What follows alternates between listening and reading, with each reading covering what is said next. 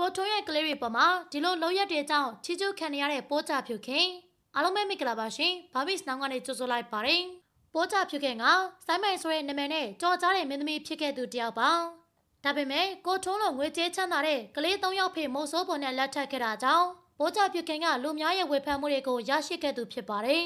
ကိုထွန်းကလည်းပိုးကြဖြူခင်ကိုလူအမြင့်ကလောက်အောင်ချက်ပြတတ်သူဖြစ်တာကြောင့်အများမြင်မှာတော့ပြောစရာဖြစ်ခဲ့ပါတယ် လွန်ခဲ့တဲ့ရက်ပိုင်းအတွင်းကတော့ပိုးချဖြူခင်းရဲ့စိတ်ထားဖြူစင်ပုံကြောင့်ချီကျူးမှုတွေဇက်တိုက်ရရှိနေပါပြီ။ကိုထုံးနဲ့ပိုးချဖြူခင်းတို့ကရဲနာပီကေထုံးဆိုတဲ့ဆိုင်ကြီးကိုဖွင့်လှစ်ထားခဲ့ပြီးနောက်မှာတော့အောင်မြင်တဲ့ဆိုင်တစ်ဆိုင်ဖြစ်လာခဲ့ပါတယ်။စိန်ဆိုင်ကြီးကိုပိုးချဖြူခင်းကိုယ်တိုင်ဦးစီးပြီးတော့ရောင်းချခဲ့တာကြောင့်ဝယ်ယူသူတွေနဲ့ကြိတ်ကြိတ်တိုးစီကားခဲ့ပါတယ်။ပိုးချဖြူခင်းကကိုယ်တိုင်မင်းသမီးတယောက်ဖြစ်ပြီးချောမလှပသူဖြစ်ပေမဲ့လည်းဆိုင်ကြောင်ညာကိုမော်ဒယ်ဖြစ်မြိုက်ကူးခဲ့ပဲကိုထွန်းရဲ့ကလေး၃ယောက်ကိုပွဲထုတ်ပြီးရိုက်ကူးပေးခဲ့ပါတယ်။ ပိုးကြဖြူခင်ကကိုထွန်းရဲ့ကလေး၃ယောက်ကိုမြစ်တာစေတနာအရင်မှန်ထားသူဖြစ်တာကြောင့်ဆိုင်းကိုသူတယောက်တည်းလဝက်ကြီးအုပ်ထားတာမျိုးမဟုတ်ကြောင်းတတ်သိပြပေးခဲ့ပါတယ်။ဒါပြင်ကိုထွန်းရဲ့ကလေး၃ယောက်နဲ့အတူစလုံးရီထက်ကိုပါရိုက်ကူးပေးဖို့ကန့်လန့်ခဲ့ပါတယ်။ကလေးရီကြောင်ညာရိုက်ကူးနေချိန်မှာပိုးကြဖြူခင်ကနောက်ွယ်ကနေကြည့်ပြီးလိုအပ်သမျှကိုအမေရင်တရားလို့လိုက်လုပ်ပေးနေခဲ့ပါတယ်။ကိုထွန်းရဲ့ကလေး၃ယောက်ကလည်းစလုံးရီထက်နဲ့အပြိုင်အတွဲညီညီကြောင်ညာရိုက်ကူးပေးခဲ့ကြပါတယ်။ ကလေးတွေရဲ့ချစ်စရာကောင်းတဲ့ဟပ်ပတ်မူရလေးတွေကြောင့်ကိုထွန်းနဲ့ပိုးကြဖြူခင်တို့လည်းပျော်ရွှင်နေကြရပါတယ်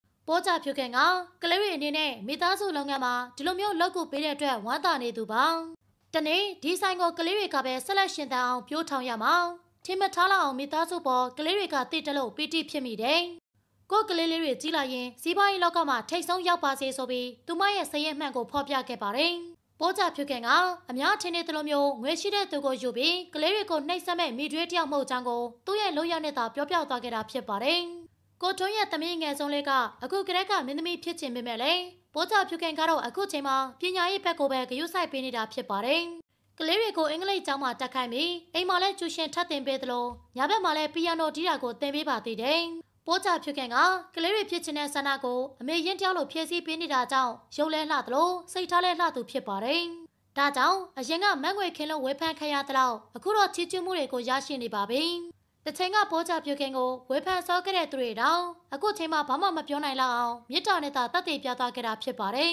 ။ကိုထွန်းကတော့သူ့ရဲ့ကလေးတွေကိုလည်းချစ်ပေးတဲ့အပြင်အိမ်အောင်ရှိမကောင်းပေးသားတဲ့ပိုးကြဖြူခင်ကိုကျေးဇူးလဲတင်နေသလိုဂုံလဲဂုံယူနေပါတယ်။ ပိုးကြဖြစ်ခင်ကမကြခင်မှာနုပညာလောကတဲ့ကိုပြန်လည်ဝင်ရောက်လာတော့မှဖြစ်တာကြောင့်ဖန်သားမြေပေါ်မှာပြန်လည်မြင်တွေ့ရတော့မှဖြစ်ပါတယ်။ပရိသတ်ကြီးအောင်ဆိုင်းမန်ရဲ့စကားတွေထက်ကဘယ်စကားကိုအကြိုက်ဆုံးဖြစ်မလဲဆိုတာပြောပြခဲ့ပါအောင်နော်။အစောနေ့ကြည့်ရှုပေးခဲ့ကြတဲ့အတွက်အားလုံးကိုကျေးဇူးတင်ပါတယ်။နောက်ထပ်နောက်ထပ် celebrity သတင်းများကိုကြည့်ရှုခြင်းနဲ့ဆိုရင်တော့ကျမတို့ရဲ့ page ကို like and follow လုပ်ခဲ့ကြဖို့တောင်းဆိုလိုက်ပါရစေ။နေ့ရက်တိုင်းအတွက်ပျော်ရွှင်ပါစေရှင်။